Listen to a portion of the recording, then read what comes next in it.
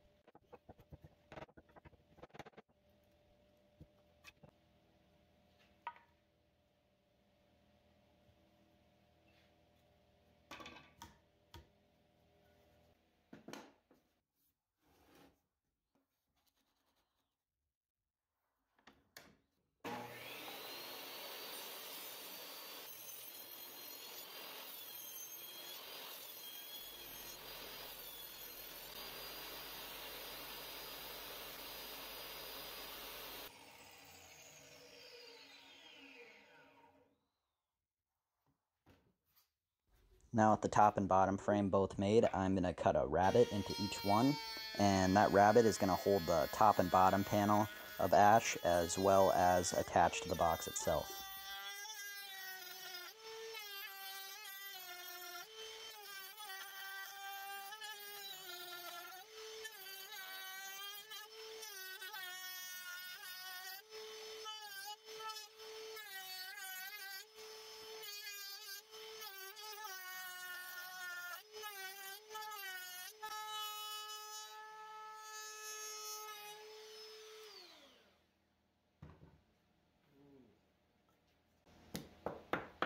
As you can tell, I need a new bit.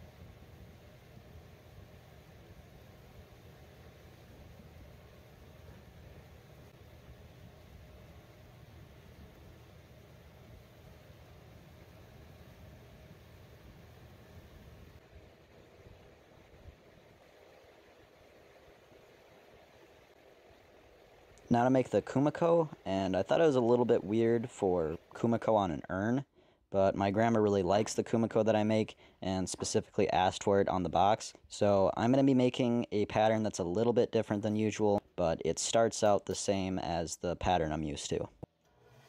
Also, my kumiko is usually about a quarter inch thick, and I'll use the router to cut a quarter inch dado for this part. But because the box is so small, I want the kumiko to be kind of thinner, so I'm going to just make it a eighth inch thick using my radial arm saw to cut the dado.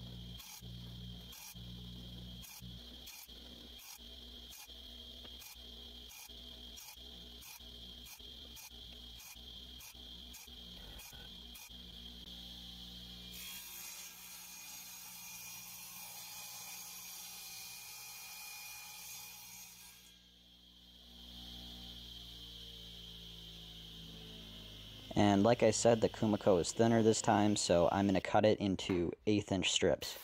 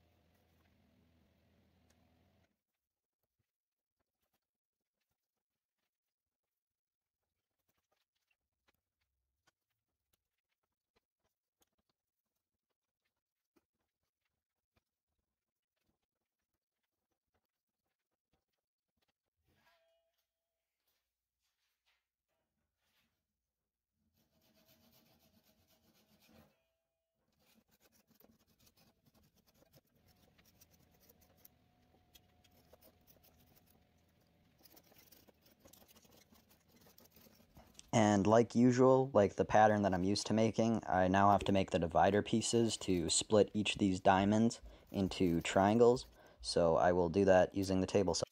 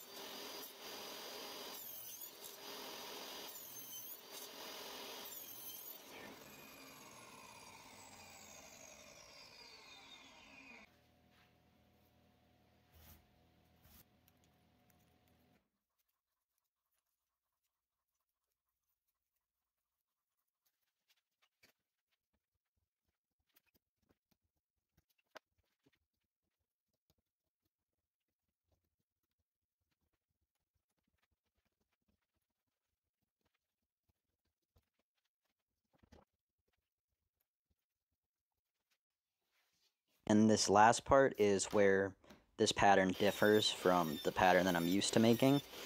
And so for this pattern, I need to cut pieces that have a 30 degree angle on each side and then a small dado down the middle of each piece to fit them together later. Because these pieces don't just click together like the other pattern that I used to make.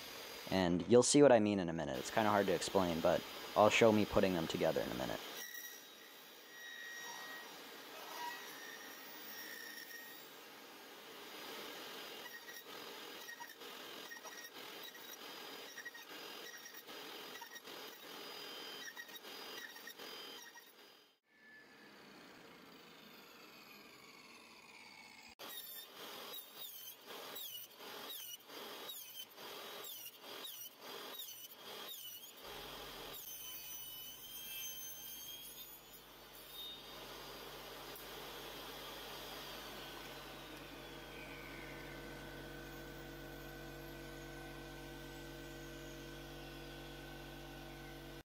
This is how the pieces fit together now, and the dado just makes it easier to line everything up while the glue dries. Like I said, without the dado, it kind of, it doesn't click together, it just slides around, so that's why I cut the dado.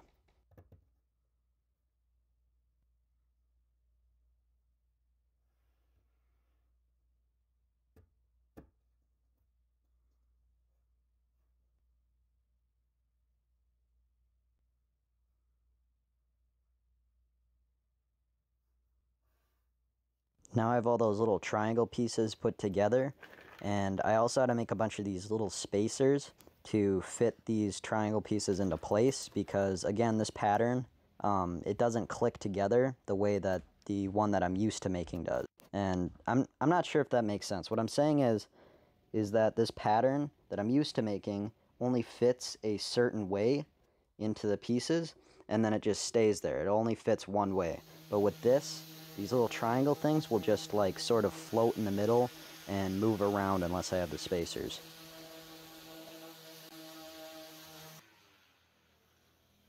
And now with the Kumiko done, all that's left is to cut it to size so it fits into the frames.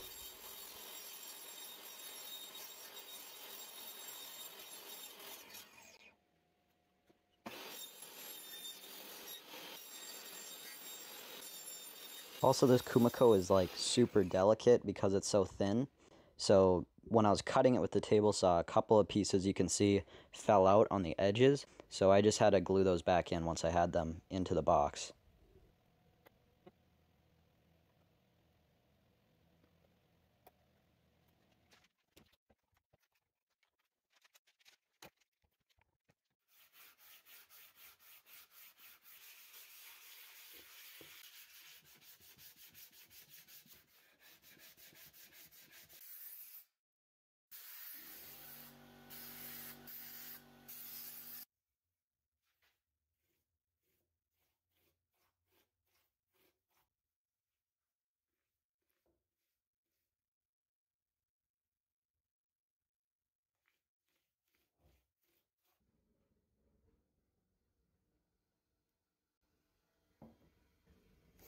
I know that this looks like a lot, and that's because it is, but the reason that I'm doing this is to get in between all of these little cracks.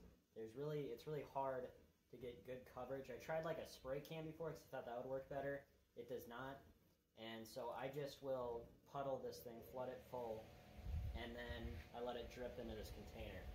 And then I can refill my thing when I'm done. So with everything done, these are my grandpa's ashes and they fit perfectly into the box.